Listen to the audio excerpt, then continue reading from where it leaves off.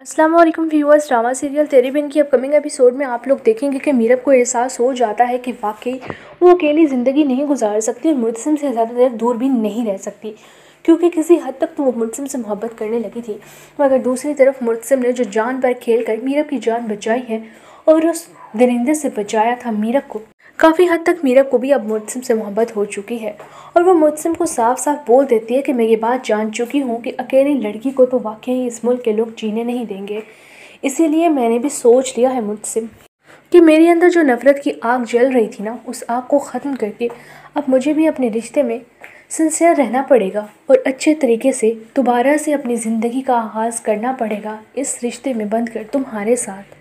मुर्तसिम के लिए तो ये दिन बहुत ही खुशी का होता है, मगर हया को जैसे ये बातें मालूम होती हैं तो वो बुरी तरह से टूट जाती है और दोबारा से ठान लेती है कि मीरप और मुलसम के दरमियान तो दरार इस बार वो ला कर ही रहेगी। चाहे कुछ भी हो, बदगुमान कर देगी मुर्तसिम को मीरप के लिए। हया को लगता है कि यूँ ही वो मुर्तसिम के दिल से मीरब को बाहर निकाल पाएगी।